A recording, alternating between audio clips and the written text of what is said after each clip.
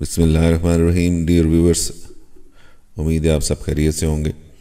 आज हमारा जो टॉपिक है, वो है उन लोगों के लिए जो कि वर्चुअल यूनिवर्सिटी पाकिस्तान में अप्लाई करना चाहते हैं एज ए सुपरिटेंडेंट या असिस्टेंट सुपरिटेंडेंट दो अपॉर्चुनिटीज़ होती हैं, या अप्लाई करने की, और ये लिंक जैसे कि आपको नज़र आ रहा है Q B dot V U dot E D dot P K इस पर जाके जो रजिस्ट्रेशन का प्रोसेस है, वो वर्चुअल यूनिवर्सिटी का ऑनलाइन सिस्टम यहाँ पे मौजूद है। एक ऑनलाइन फॉर्म हमने आपके लिए डिस्प्ले कर रखा है। इसमें अगर आप देखें तो ये बड़ा ही सिस्टमेटिक बड़ा आसान सा सिंपल सा फॉर्म है और इसको फिल करने में अमूमी तौर पे कोई ज़्यादा दिक्कत पेश नहीं आती। फॉर एग्ज़ाम्पल सबसे पहले तो आपने जो नाम है, वो यहाँ पे एंटर करना है। यहाँ पे एक चीज़ की सख्त एहतियात करनी चाहिए। कि नाम वो वाला हो जो कि आपके मैट्रिक के रिज़ल्ट कार्ड पे जिस तरह उसके स्पेलिंग लिखे हुए। शनाती कार्ड नंबर किसी भी तरह लिखा जा सकता है, यानी उसमें जो नंबर्स हैं वो विदाउट हाइफन भी लिख सकते हैं और विद हाइफन भी, यानी जो मनफी का निशान आपको नज़र आता है, उसको हाइफन कह देते हैं। उसके बगैर भी लिख सकते हैं, यानी रनिंग मोड में भी लिखा जा सकता है और विद हाइफन भी लिखा जा सकता है। इसके बाद अगला सेक्शन है आपका मेल और फीमेल वो जो भी आपका जेंडर है उसके मुताबिक उसको आप टिक करेंगे रेडियो बटन पे। फॉर एग्ज़ाम्पल मेल को टिक करें तो ये ऐसे हो जाएगा। अगर आपने सुपरडेंट के लिए अप्लाई करना है तो एक सेक्शन में हम इसको ऑन कर लेंगे। इसे कहते हैं चेक बॉक्स चेक बॉक्स में हमने चेक कर दिया। और date of birth date of birth में देखें, जैसे साथ हिंट दिया गया कि पहले डेट है, फिर मंथ है और फिर ईयर है। ईयर में हमें, यानी फोर डिजिट्स डालने पड़ेंगे और इसी तरह जो डे है या मंथ है, उसमें दो दो डिजिट्स लें करंट एड्रेस पे बहुत एहतियात की ज़रूरत अगेन हमें पड़ती है। जहाँ पे हमारे जो एप्लीकेंट्स हैं, उनके जो करंट एड्रेस है। करंट एड्रेस वो होता है जहाँ पे इस वक्त वो उनकी रहाइश होती है। अच्छा उसमें जो उनका फॉर एग्ज़ाम्पल जहाँ भी वो रह रहे हैं, कोई मोहल्ला हो गया नियर मस्जिद होगी या नियर कोई शॉप है, यानी माइल स्टोन उसे कहते हैं नियरेस्ट माइल स्टोन या कोई स्ट्रीट नंबर उनका है, या ऐसी कोई प्रोमिनेंट सी प्लेस मशहूर जो प्लेस है उनके घर के पास, ताकि अगर यूनिवर्सिटियों के लेटर्स या बाद में आने वाले जो उनके जो पेमेंट्स हैं, उनको अरसाल करे तो वो उसको रिटर्न ना हो जाए वो। दूसरी सूरत में आप लिख सकते हैं परमानेंट एड्रेस वो भी आप दोनों सेम भी लिखे जा सकते हैं, इसमें कोई इशू नहीं होता। और अगर इन केस के वो डिफरेंट है तो आप चाहते हैं कि वो भी परमानेंट जो है, वो भी लिखा जाए तो उस पर भी आप परमानेंट एड्रेस इस बॉक्स में डाल सकते हैं। कॉन्टैक्ट नंबर से मुराद होगा, जहाँ आप अगर काम कर रहे हैं तो उनका कॉन्टैक्ट नंबर और आपके घर पे अगर कोई मोबाइल नंबर आप यूज़ करते हैं तो वो दे, दिया जा सकता है। सेल फ़ोन जो आपका अपना नंबर ज़ाती तौर पे आप यूज़ करते हैं। इसमें जो चीज़ आगे चल के आएगी, वो आपकी पर्सनल ईमेल है। यहाँ पे वो ईमेल प्रेस डालिए जो आपके मोबाइल पे ओपन हुई हुई है। ताकि आपको नई ईमेल बनाने न पड़े, क्योंकि वेरिफिकेशन कोड्स भी इस पर आएँगे। मज़ीद तफसीलात भी इसी पर आएँगी। आइंदा आने वाले दिनों में भी इसी को यूज़ किया जाएगा। और ये बाद में चेंज नहीं होता। ये बहुत ज़्यादा ध्यान से करने वाला काम है। इस पर ख़ता अगर हो जाए तो फिर इस पर खासी आगे जाकर ट्रबल्स बनती हैं। अपलोड पिक्चर्स में जहाँ जहाँ आप देखें कि वो क्या चीज़ आपसे मांग रहे हैं यहाँ पे पिक्चर आपकी अपलोड होनी है।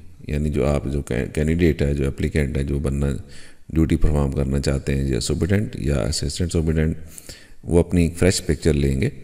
पिक्चर से मुराद ये नहीं है कि सेल्फी ले ली जाएगी वो नहीं। पिक्चर जैसे ब्लू बैकग्राउंड में आप आ, किसी फोटोग्राफर के पास जाके उसको पासपोर्ट साइज़ पे पिक्चर बनाते हैं और मोबाइल पे आके जो आपके पास कैम स्कैनर्स एक सॉफ्टवेयर होता है वो आप प्ले स्टोर से डाउनलोड करके उससे उसकी स्कैनिंग करें और उससे फिर उसकी पिक्चर बनाएँ। यहाँ पे एक छोटा सा इशू मैं इसको हाईलाइट करना चाहता हूँ जब आप कैम स्कैनर यूज़ करते हैं या अपना मोबाइल आप यूज़ करते हैं तो दोनों से जो पिक्चर बनती है, उसका जो फ़ाइल नेम होता है, वो थोड़ा सा डिफरेंट हो जाता है।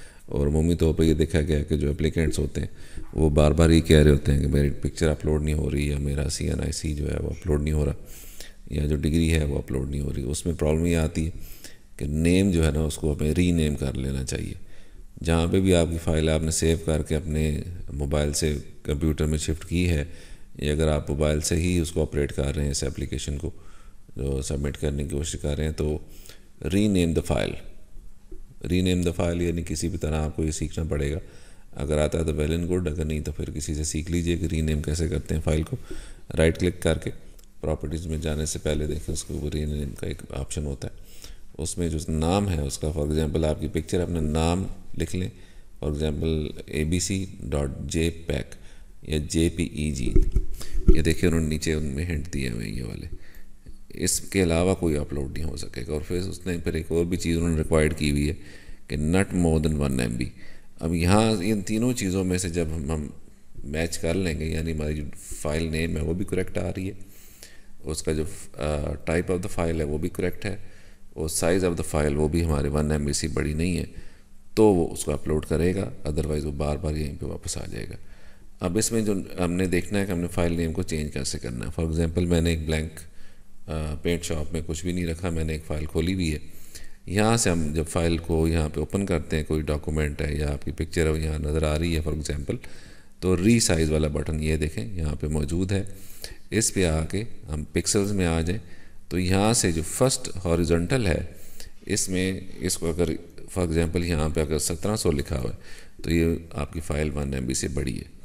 ये one point five M B है one point seven M B है सॉरी तो इसको अगर आप वन थाउज़ेंड कर दें फॉर एग्ज़ाम्पल और वर्टिकल को छेड़ने की ज़रूरत नहीं है, वो खुद उसको एडजस्ट करेगा। बाकी किसी भी जगह पे, नीचे किसी भी चीज़ को छेड़ने की ज़रूरत नहीं है, सिर्फ़ हॉरिजेंटल को अगर वन थाउज़ेंड कर दें तो ये वन एम तक तकरीबन वन एम होता है वन ज़ीरो टू फोर तो हमने उससे नीचे उसको फ़ाइल को ले ली। जो ही ओके करें तो देखें, ये फ़ाइल इस तरह नज़र आनी है। अच्छा ये जब फ़ाइल बन गई तो इसको फ़ाइल सेव एज़ के ऑप्शन में आ जाए। यहाँ से देखें, यहाँ पे हमने सेव फ़ाइल का नेम दिया। फॉर एग्ज़ाम्पल आपका नाम कुछ भी हो सकता है। फॉर एग्ज़ाम्पल मैं यहाँ पे लिखता हूँ असलम।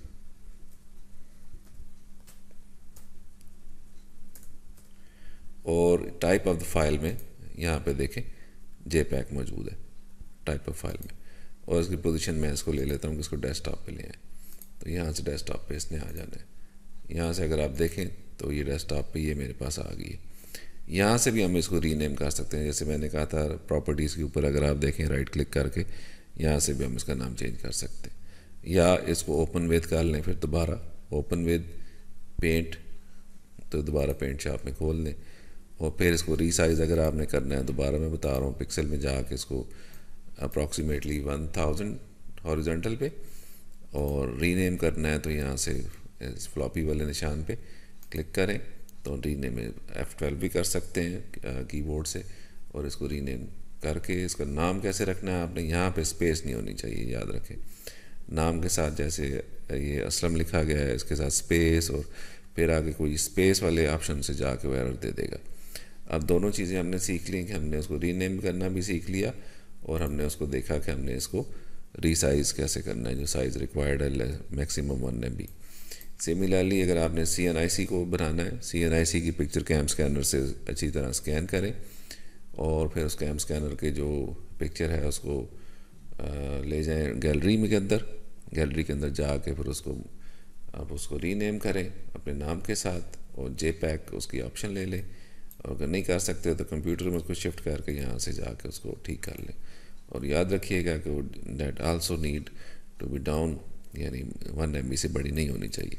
सिमिलरली ये प्रोसेस हमारा इस पर अपलोड करने के लिए, जहाँ पे हमारे पास डिग्री है, उस पर भी चलेगा। अब आगे आ गया ये एकेडमिक रिकॉर्ड है, जो अप्लीकेंट अप्लाई कर रहे हैं। ये मैट्रिक इंटरमीडिएट और बैचलर्स और मास्टर्स और मास्टर्स से आगे अगर कोई उसकी क्वालिफिकेशन है एप्लीकेंट की तो यहाँ पे ले सकते हो। नेम ऑफ़ इंस्टीट्यूशन से मुराद होगा, जो आपकी वहाँ पे डिग्री के ऊपर लिखा हुआ है। फॉर एग्ज़ाम्पल आपने बोर्ड है यहाँ पे मैट्रिक के तो बोर्ड होंगे ना। आपने फॉर एग्ज़ाम्पल किसी भी बोर्ड से मैट्रिक का एग्ज़ाम्स पास किया। तो वो बोर्ड का पूरा नाम जो आपकी डिटेल मार्कशीट के ऊपर लिखा हुआ उसको एज़ इट इज़ करेक्ट यहाँ पे टाइप करें।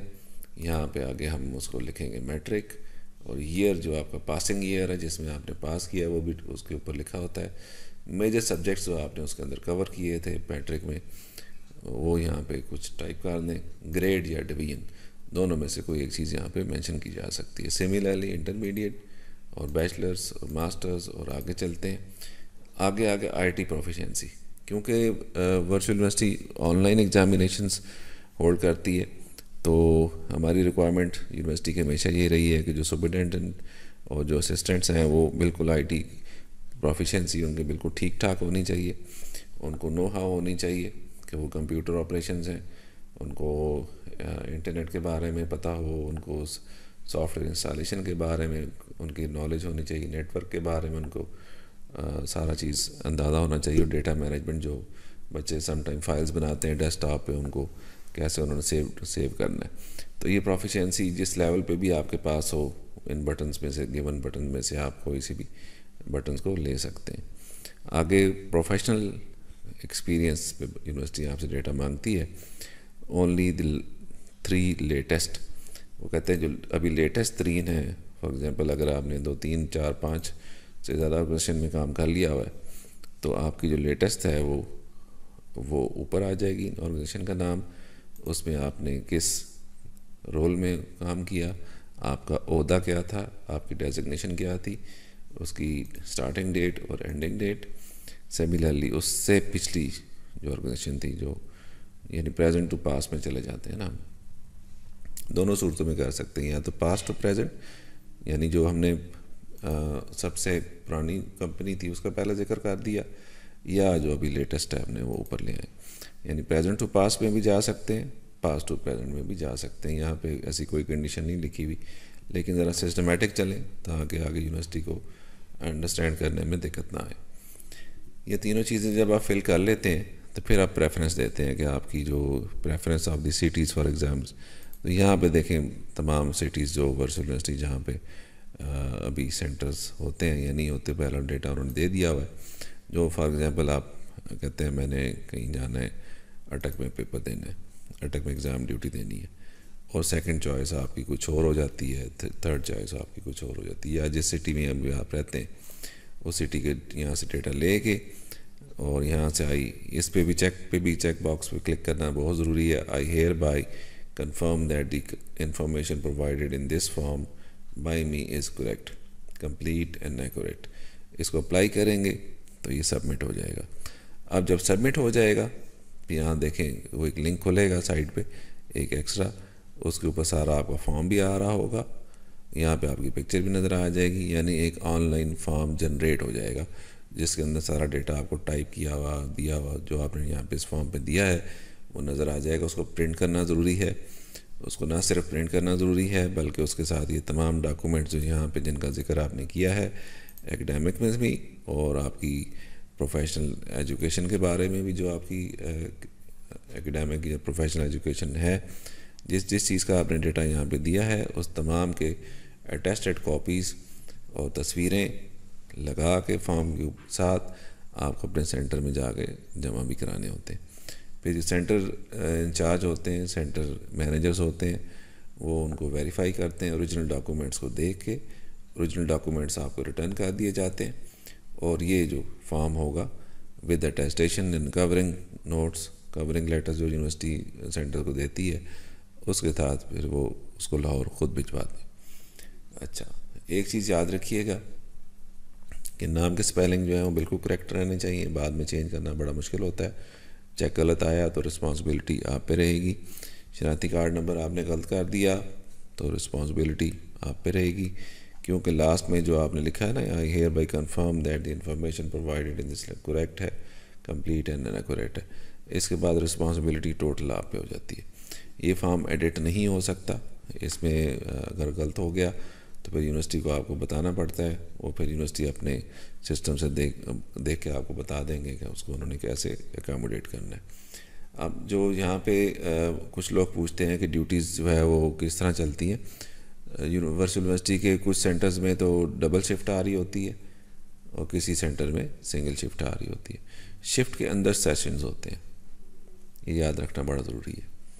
यूनिवर्सिटी फिल वक्त जो आपको पेमेंट करती है दोनों को सुप्रिटेंडेंट साहब को या असिस्टेंट को वो पर शिफ्ट पे करती है। अब शिफ्ट के अंदर सेशंस होंगे। अब कानून यूनिवर्सिटी का अपडेट होता रहता है। यूनिवर्सिटी बिल्कुल आ, इस बात में अथोराइज्ड है कि वो कवानीन बनाए कवानीन को अमेंड करे या उसमें कोई तब्दीलियाँ ले के आए ये अथॉरिटी उनके पास हमेशा से रहती है।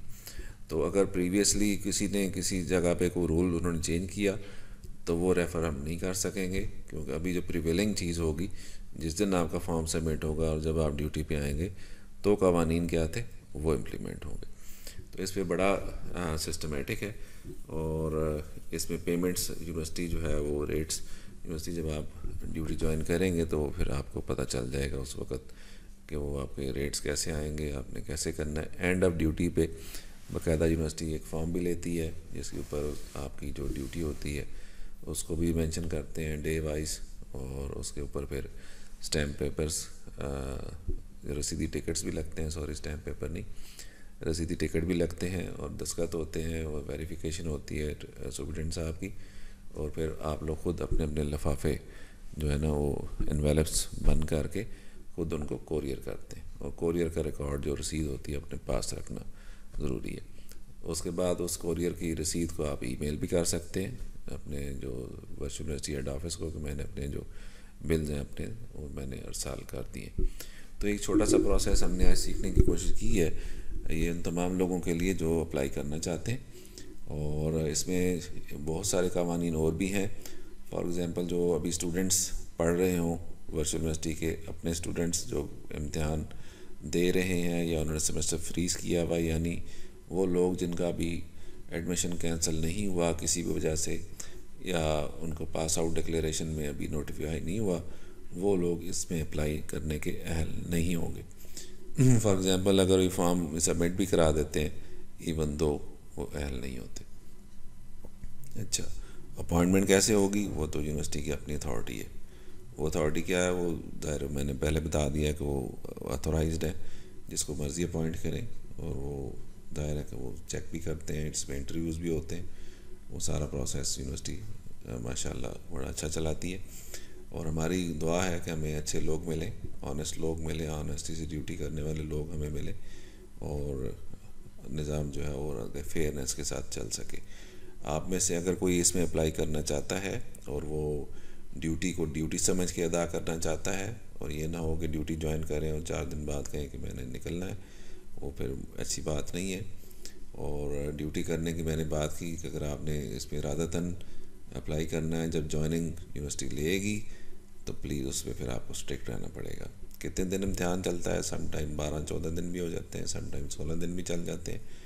ड्यूटीज़ डबल नहीं अदा हो सकती, यानी दोनों शिफ्टों में नहीं आ सकेंगे। और वो कुछ कंडीशंस और होती हैं। इसी तरह आपके अगर रिलेटिव्स हैं तो आपको पहले दिन बताना पड़ेगा।